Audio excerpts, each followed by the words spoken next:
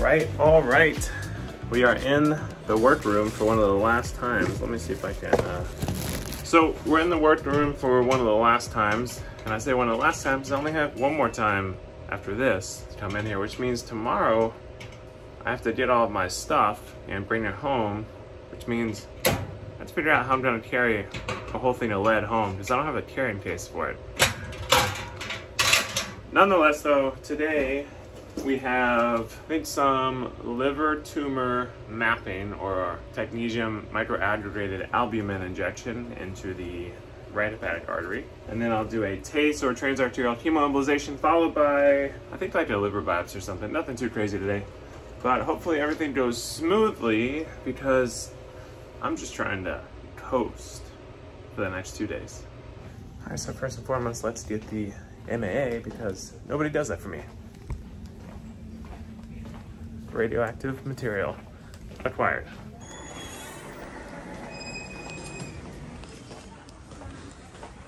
It's actually pretty heavy. Do some bicep curls with it, work out a little bit, all good. What's up, bro? Oh, hey. I don't know where to put the MA in here.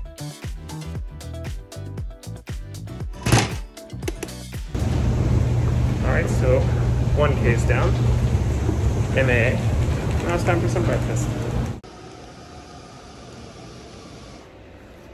All right, so we have two cases under our belt now, and you can tell that I'm just in a good mood, and that's because A, I'm almost done with fellowship, but B, because I'm working with Tim, who you may have seen on one of my prior videos way back in the beginning of this year. We worked together on a big prostate embolization for the transarterial radioembolization something treat program that we put on here. And uh, he was one of the residents I worked with. But anyways we did two cases. Now we did a Y90 mapping followed by an actual Y90 and he did pretty much the whole case. And I was just kind of like standing there supervising. So it's pretty legit. It's almost like I'm an attending now almost. I guess technically I'll be attending at the end of June but I'm done here in like a day or so. So am I attending now? Am I attending then? I don't know. Either way I could get used to this? All right, so I didn't film anything yesterday evening because I ended up having drinks with my co-fellows. Just talked about some things, talked about how, well, that's loud. We just talked about a few things, talked about how happy we are to be done with all of this. And the best part about today is today is officially my last day here. And I have a duffel bag within my backpack where I'm going to carry my lead all my stuff that was in the locker, all that good stuff. So uh, this is it. I think we have a lot of bread and butter cases today, so it's a good way to end the fellowship. Guys, I officially did it. I am no longer in medical training. Okay, so the only problem so far, well, first off, I'm happy I'm done with fellowship and all of my medical training, which means the next step for me is an attending. But I'm not excited that I have to carry all of my extremely heavy lead. I don't know how many blocks. I'm supposed to carry this like 20 blocks and it's so heavy. I thought it was gonna be lighter than this, but I don't realize how much it weighs when I have it on. But now that it's over my shoulder, it's way heavier than I anticipated. So I'm gonna get in the taxi, tell you how I feel when I go home.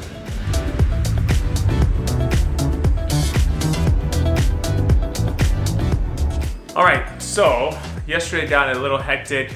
Uh, it was my last day in the hospital, so came home, celebrated, all that good stuff, so I didn't really have a time to finish the video, per se. But yes, I am extremely happy to finally be done with all this training. It's been 14 years after high school, four years of med school, six, oh wait, Four years college, four years med school, six years of residency, including my fellowship training, 14 years and here I am, finally done. It hasn't really sunk in yet, but I think I'm pretty excited. I just don't know for sure yet. Well, I know I'm excited, but it just hasn't sunk in. So yeah, it won't sink in probably for like another month until I move and start that job and all that good stuff, but super pumped about it. A lot of people have been asking me One, am I ready to be an attending? I think the answer is yes. I think I've been ready for probably the past couple months. Obviously, there's going to be some growing pains and some initial anxiety when I'm going to be the only one making all the decisions and everything falls on me instead of my attending because I'm used to that being in training so long. But I think I'm ready and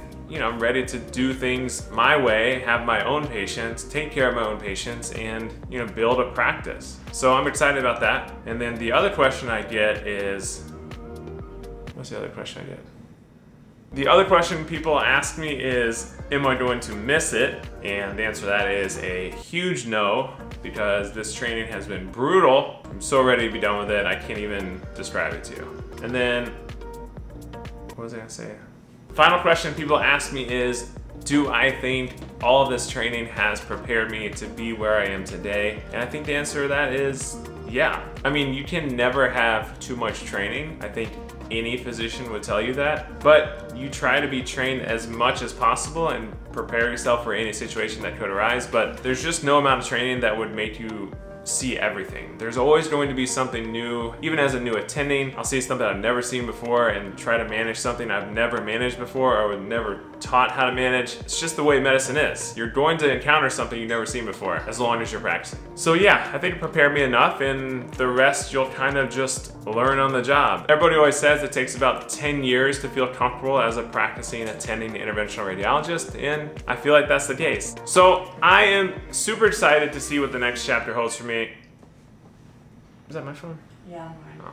So yeah, super pumped with where I'm at. I'm happy to be going forward and advancing my career and becoming an attending physician now. And I'm even more so excited because I had such a great day yesterday. I got to end with a nice smattering of bread and butter cases. Ended my last day doing an abscess drain, which I honestly didn't do much of this year. I did a lot of that the four years prior, but yeah, ended up nicely. I had a very nice patient who talked to me the whole time we were doing it. Great conversation, great patient. I even worked with a med student that whole day, so I got to teach them a lot. Fantastic last day. I couldn't have asked for anything better. Here we are, on to the next chapter in our lives, and obviously I'll keep you along for the ride. And uh, yeah, if you have any questions, let me know in the comments below. As always, smash the like, subscribe button, follow me on Instagram and TikTok if you don't already, and I'll see you all on the next video.